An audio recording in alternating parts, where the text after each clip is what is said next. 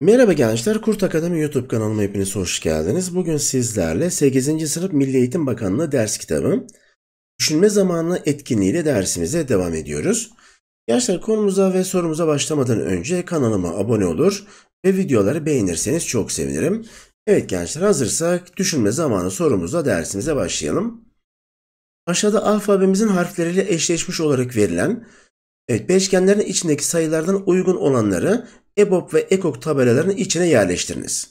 EBOB tabelalarında eşitliğin sağında verilen sayılar o tabelaya yerleştirecek olan sayıların EBOB'unu vermektedir. E, aynı durum EKOK için de geçerlidir. Yerleştirme işlemi bittikten sonra kalan beşgenleri küçükten büyüğe doğru en alttaki tahta tabelaya yerleştirerek harflerden oluşan gizli kelimeyi bulunuz diyor.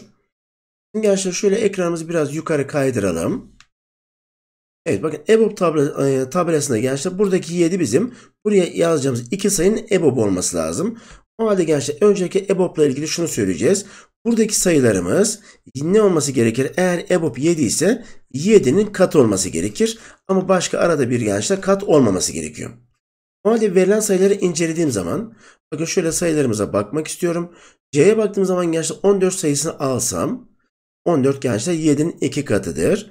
E daha sonra da gençler şöyle evet şeye bakıyorum 21 dersem yani 14'te 21'in hemen şöyle EBOB'unun 7 olduğunu gösterelim. Gençler bakın şöyle 7'ye böldüğüm zaman 2 ve 3 kalır. 7 her ikisini böldüğü için bakın 2 ile 3 aralarında asaldır. Aslında EBOB 7'dir diyebiliriz. O halde buraya 14, buraya da 21 yazdım düşünüyorum. E 15 için de geçer, gençler aynı durum geçerli. Sayıların 15'in katı olması gerekir. Verilen sayılara baktığım zaman gençler bakın burada 75'i yazsam daha sonra da evet I'da bakın zaten 15 var. 15 ile 75'i yazalım. Evet 75 15'in katı gençler. Zaten katı olan sayılarda öyle bir kuralımız vardı. Evet iki sayı birbirinin katı ise küçük olan sayı EBOB demiştik. Bakın bu iki sayıyı da kullandım. E 13 için 13'in katı olması gerekir. Bakın A'da 26'yı yazıyorum. E daha sonra sevgili gençler 26 yazdıktan sonra e şöyle yine 13'ün katı bakın 13'ün 5 katı olacak şekilde 65'i yazabiliriz. 26 ile 65'in gerçekten de EBOB'larının 13 olduğunu görürüz. Peki 18 için gençler 18'in katı olacak şekilde e şöyle sayılarımı incelediğim zaman e şöyle S'ye bakıyorum gençler. Bakın burada S'miz var. 18'in 3 katı. Yani 54'ü yazdığımı düşüneceğim. E daha sonra da evet, 72 var gençler. Yine 54, 18'in 4 katı. İki sayının EBOB'u 18'dir. Bunları da buraya yerleştirdiğimi düşünelim. 29 için gençler bakın 58 var. 29'un 2 katı. Daha sonra 29'un başka bir katı lazım. Evet verilenlere baktığımız zaman evet 145 gençler 29'un 5 katıdır. Bakın buraya da 145 yazalım. Evet bize açıkta olan sayılar gerekiyordu. Bunları elemiş oluyoruz. E son olarak 11 için evet gençler G'de 11 var. 11'in birinci katı. E 11 için gençler başka baktığım zaman B'de gençler 9 katı var. 11 ile 99'un EBOB'ları da 99 olur diyoruz. Evet, şimdi gençler e, EKOK tablosuna bakalım. EKOK'lar 110 olacak şekilde. Evet şöyle EKOK'ta gençler o halde diğer sayılar bu 110'un mutlaka böleni olacak diyorum. Bakın ben buraya 10 yazarsam sevgili gençler yani neyi buraya yazarsam evet daha sonra sevgili gençler neyden sonra G'yi yazdığımı düşüneceğim. E, G nerede? Evet 11. Bakın bu ikisini buraya yazarsam gençler ne oldu? N ve G'yi kullandık ve 110'u elde ettik. Buraya da kullandığımız harfleri yazalım gençler. Hatta şurayı da tamamlayayım. E 14'te 21 gençler. 14 Evet hangi harfimizdi? C'ydi. Buraya C'yi yazdım. 21 de şeydi. Harfleri buraya yazarak gösterebiliriz. E 15 gençler. Evet 15 neredeydi? I'ydı. Bu Ö'ydü. Evet. 13 için bu 26 idi gençler. A'yı yazdım buraya. 65 de sevgili gençler U'nun değeriydi. Evet. 54'ü nereden aldık gençler? 54'ü Evet S'den almıştık. 72'de J'den almıştım. Bunları buraya yazmış olduğumuzu gösterelim. Bu B'ydi. Bu O'ydu. Evet gençler 11 F'nin G'nin değeriydi.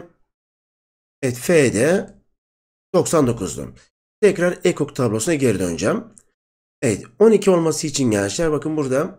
Evet H'ye bakıyorum 6. 6'yı buradan kullanacağım. M'de sevgili gençler 4. Yani 4 ile 6'nın ekoku. Bunu gençler evet. Bu H. Bu da M gençler. E ile M'nin ekoku da 12'dir. 1000 için sevgili gençler.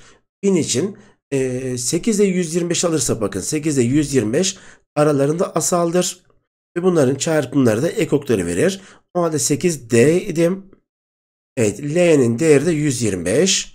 Bakın şuradan D'yi kullandım, L'yi kullandım. Kullandıklarımızı mutlaka yuvarlak içine alalım. E, 85 için gençler bakın şuradan e, baktığım zaman P'yi almak istiyorum. P 17. Daha sonra yumuşak G'yi alırsam yani 5'i alırsam 5 ile 17 aralarında asalları ve çarpımları sevgili gençler neyi verir? 85 ek okunu verir diyoruz. Bu yumuşak G 17'de P'nin değeriydi. Son olarak 69 için evet 69'a 3 A alacağım. Yani Ç'ye alacağım. Bir de gençler verilen sayılardan Z'yi alırsam ekokları ne olur arkadaşlar? Burada 69 olur diyoruz. Peki geriye kalan sayılara bakalım. Şöyle kalemizi farklı şekilde yazalım. Evet gençler geriye kalan sayılarımıza şurada gitmişti. Evet kalan sayılarımıza bakacağız. Evet buradan gençler bakın burada E var. Şöyle altını şu şekilde E'yi alalım. E, yukarı sırada I var. Evet. Az önce gençler şurada 9'u kullandık mı diye bakıyorum.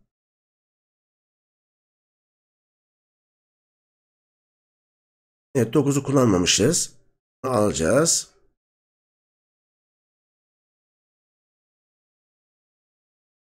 Şuradan 121 için Evet V'yi kullanmadık gençler sanki. Evet K'yi kullanmadım. R'yi kullanmadım. T'yi ve Y'yi kullanmadık. Sevgili gençler burada bir 121 ile ilgili herhangi, herhalde bir yere atladık diye düşünüyorum. E, burada gençler geriye kalan harfleri ben aslında gizli kelime de yerine yazarsam. Bakın şöyle. Türkiye kelimesi ortaya çıkıyor. Sadece gençler şurada 121'e atladım herhalde. Onu da arkadaşlar sizler incelerseniz nerede atladığımı bulabilirsiniz diye düşünüyorum. Evet sevgili gençler. Türkiye kelimesi burada gizli kelimemizdir diyelim. Ve bu etkinlikle de dersimi burada bitireyim gençler. Bir sonraki dersimize görüşmek üzere. Kendinize iyi bakın, sağlıcakla kalın.